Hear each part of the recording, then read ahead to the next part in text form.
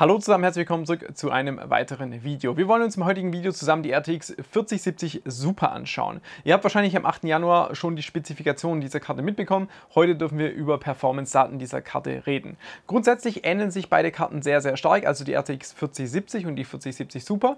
Die 4070 Super hat aber eine stärkere GPU. Die hat jetzt 7168 CUDA-Kerne zum Beispiel, hat aber weiterhin 12 GB Speicher und 192 Bit Speicherbus. Das wirklich Interessante daran ist eigentlich die Preisgestaltung.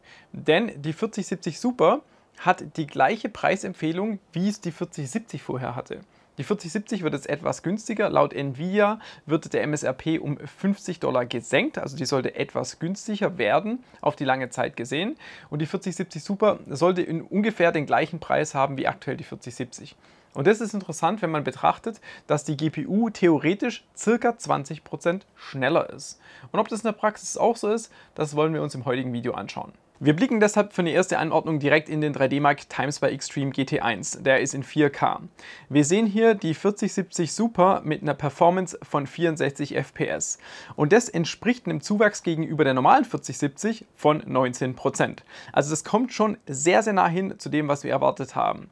Die 4070 Super ist somit fast doppelt so schnell wie ein RTX 2080. Ich muss auch sagen, dass ich das Review hier unter einigem Zeitdruck produziere. Für mich ist heute der 5. Januar. Ich habe gestern im Prinzip die Karte mit Treiber bekommen und hatte jetzt einen Tag Zeit zu testen, mache heute das Video für euch. Morgen geht es für mich zur CES nach Las Vegas. Das heißt, ich habe einen guten Gap zwischen Produktion, Test und dem, wann das Video online gehen kann, aber habe dann keine Zeit mehr, das davor zu machen. Deswegen ist es nicht ganz so umfangreich, wie ich das eigentlich gerne hätte, aber ich hoffe, es ist trotzdem einigermaßen gut gelungen. So sah ja die normale RTX 4070 Founders Edition aus. Wenn ihr mich fragt, schon eine wirklich schöne Karte, aber bei der Super hat sich optisch ein bisschen was geändert. Denn wie ihr sehen könnt, ist die RTX 4070 Super komplett schwarz. Und ich muss sagen, das gefällt mir wirklich gut. Ist natürlich komplette Geschmackssache, wie einem das optisch gefällt. Ihr seht, die Karte läuft ja auch gerade so ein bisschen unter Last, hat hier circa ja, 194 Watt Leistungsaufnahme. Das ist natürlich von der sag mal, Anwendung abhängig. Was ich aber so ein bisschen damit zeigen möchte, auch ist die Lautstärke und die ist bei der Founders Edition wie gewohnt wirklich, wirklich gut, weil die Karte läuft im Prinzip unter Volllast und ich stehe hier, ich würde mal sagen, so 50 cm von der Karte weg, aber man hört die Karte nicht wirklich. Also das ist mal wieder sehr, sehr gelungen. Was man dazu sagen muss, ist, dass wir hier knapp unter 200 Watt lesen und vom PC Express Slot gehen nochmal ca. 15 bis 17 Watt aus von meinen Messungen und da muss man sagen, Karte wirklich angenehm leise für die Last und auch das Spulenfiepen würde ich als wenig bis moderat beschreiben, also absolut in einem angenehmen Bereich. Solange die FPS, ich sag mal, in einem normalen Level sind. Sobald die ab 400, 500 sind, wird es natürlich wie üblich nervig. Weiter geht's mit Assassin's Creed Valhalla in 1080p Auflösung und maximalen Details. In dem Spiel sehe ich einen Leistungszuwachs gegenüber der normalen 4070 von etwa 10%. Ihr könnt wie immer die Leistungsaufnahme in Watt in den blauen Balken sehen. Die 4070 Super verbraucht in dem Game 161 Watt, was nur ganz knapp über der 4070 liegt. Die 4070 Super liegt damit, was die Leistungsaufnahme betrifft, auf dem gleichen Level wie eine 3060, hat dabei aber die doppelte Performance. Und es zeigt mal wieder, wie effizient die Nvidia Ada GPUs einfach sind. In Valorant und 1440p Auflösung mit E-Sports-Einstellungen musste ich feststellen, dass die 4070 Super schon stark ins CPU-Limit läuft.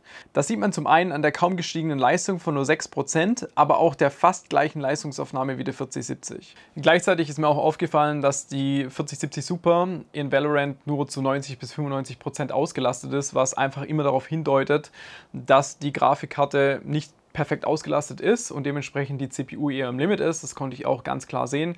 Aber ich muss auch sagen, dass ich bei der Benchmark-Auswahl hier auch eher den Fokus auf alte Karten gesetzt habe, also dass man das noch mit alten Karten einigermaßen spielen kann, wie zum Beispiel in der 2060 und einer 2080 und ihr so aber Vergleichswerte habt, wenn ihr zum Beispiel auch eine 1060 habt oder eine 2060 und ihr upgraden wollt auf so eine Karte, was euch da erwartet. Aber man muss ganz klar sagen, anhand von diesen Daten, dass die 4070 Super auch definitiv eher eine 1440p-Karte ist als eine 1080p-Karte.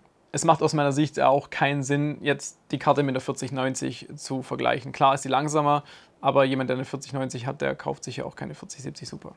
Das Verhalten mit 1440p sehen wir auch in Remnant. Mit knapp 200 FPS im Schnitt und 119 FPS im 1% Low hättet ihr eine super Performance und etwa 13% mehr als mit der normalen RTX 4070. Die Leistungsaufnahme war hier etwas höher mit 212 Watt. Deswegen verwende ich tatsächlich auch gerne Remnant als Benchmark, weil bei mir zumindest die Leistungsaufnahme in dem Spiel bei der GPU immer wirklich hoch ist und auch höher als bei allen anderen Spielen, die wir heute im Test haben. Interessant ist hier auch ein Blick auf die RTX 2080, denn wenn wir die mal anschauen, dann sehen wir, dass die RTX 4070 Super ungefähr doppelt so schnell ist, aber 20% weniger Leistungsaufnahme hat. Also das ist schon echt eine coole Entwicklung. Bevor wir jetzt gleich noch zu Cyberpunk und DLSS Benchmarks kommen, wollen wir jetzt noch mal ganz kurz auf Idle-Leistungsaufnahme und auch Temperaturen schauen.